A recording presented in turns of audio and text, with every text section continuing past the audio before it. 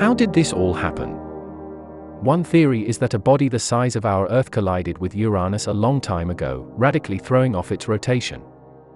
Until we know for sure, the planet's strange tilt remains one of the great mysteries in the dance of the universe. And Uranus will keep doing the side shuffle the seventh planet from the Sun with the third largest diameter in our solar system. Uranus is very cold and windy. The ice giant is surrounded by 13 faint rings and 27 small moons as it rotates at a nearly 90 degree angle from the plane of its orbit.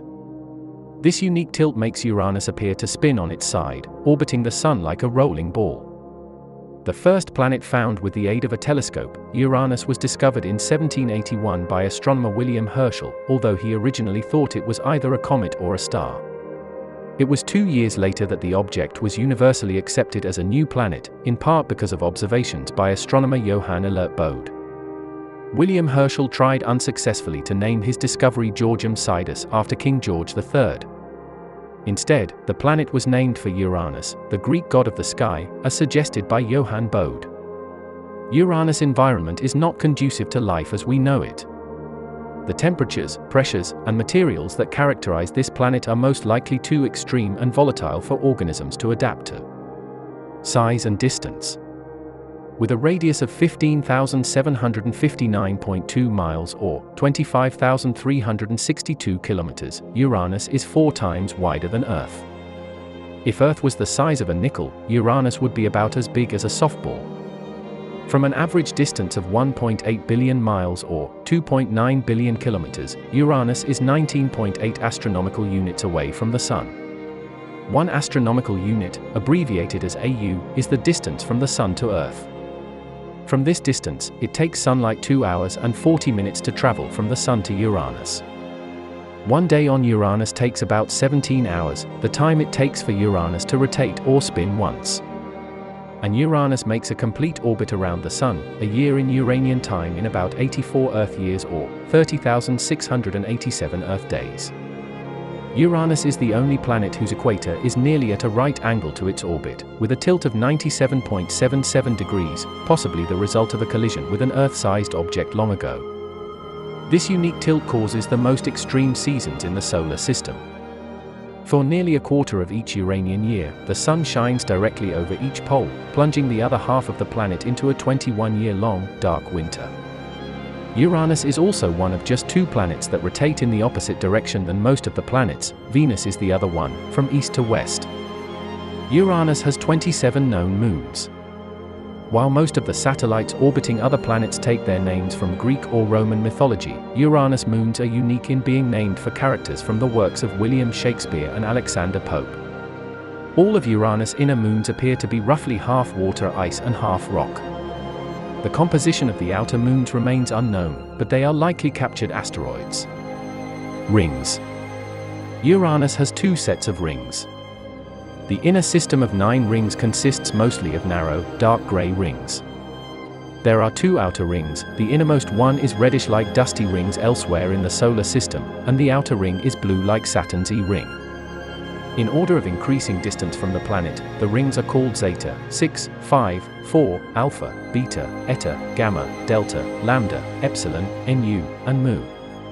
Some of the larger rings are surrounded by belts of fine dust. Uranus took shape when the rest of the solar system formed about 4.5 billion years ago, when gravity pulled swirling gas and dust in to become this ice giant. Like its neighbor Neptune, Uranus likely formed closer to the Sun and moved to the outer solar system about 4 billion years ago, where it is the seventh planet from the Sun. Structure Uranus is one of two ice giants in the outer solar system, the other is Neptune. Most, 80% or more of the planet's mass is made up of a hot dense fluid of icy materials, water, methane, and ammonia, above a small rocky core. Near the core, it heats up to 9,000 degrees Fahrenheit or 4,982 degrees Celsius. Uranus is slightly larger in diameter than its neighbor Neptune, yet smaller in mass. It is the second least dense planet, Saturn is the least dense of all. Uranus gets its blue-green color from methane gas in the atmosphere. Sunlight passes through the atmosphere and is reflected back out by Uranus cloud tops. Methane gas absorbs the red portion of the light, resulting in a blue-green color. Surface As an ice giant, Uranus doesn't have a true surface. The planet is mostly swirling fluids. While a spacecraft would have nowhere to land on Uranus, it wouldn't be able to fly through its atmosphere unscathed either. The extreme pressures and temperatures would destroy a metal spacecraft. Atmosphere Uranus' atmosphere is mostly hydrogen and helium, with a small amount of methane and traces of water and ammonia. The methane gives Uranus its signature blue color. While Voyager 2 saw only a few discrete clouds, a great dark spot, and a small dark spot during its flyby in 1986, more recent observations reveal that Uranus exhibits dynamic clouds as it approaches equinox, including rapidly changing bright features. Uranus' planetary atmosphere, with a minimum temperature of 49 K or 224.2 degrees Celsius makes it even colder than Neptune in some places. Wind speeds can reach up to 560 miles per hour or 900 kilometers per hour on Uranus. Winds are retrograde at the equator, blowing in the reverse direction of the planet's rotation. But closer to the poles, winds shift to a prograde direction, flowing with Uranus rotation. Magnetosphere Uranus has an unusual, irregularly shaped magnetosphere. Magnetic fields are typically in alignment with a planet's rotation, but Uranus' magnetic field is tipped over. The magnetic axis is tilted nearly 60 degrees from the planet's axis of rotation, and is also offset from the center of the planet by one third of the planet's radius. Auroras on Uranus are not in line with the poles, like they are on Earth, Jupiter, and Saturn due to the lopsided magnetic field. The magnetosphere tail behind Uranus opposite the Sun extends into space for millions of miles. Its magnetic field lines are twisted by Uranus' sideways rotation into a long corkscrew shape. Scientists have always wondered how Uranus got tilted so much that it spins on its side, and now research on the planet's early formation gives us new insight. Four billion years ago, scientists believe a young protoplanet of rock and ice collided with Uranus, causing its extreme tilt. Instead of rotating like a top spinning nearly upright, as Earth does, the planet rolls on its side as it circles the Sun. The research team, led by Durham University, UK, in collaboration with scientists at NASA's Ames Research Center in Silicon Valley, used advanced computing techniques to create the most detailed simulation to date of the suspected impact. A simulation of the most likely Uranus impact scenario that caused today's tilted orbit, according to new, highly detailed simulations. Light gray represents ice materials from Uranus, while dark gray represents rock materials from Uranus. Purple represents ice materials from the impactor, while brown represents rock from the impactor. Light blue represents Uranus' atmosphere.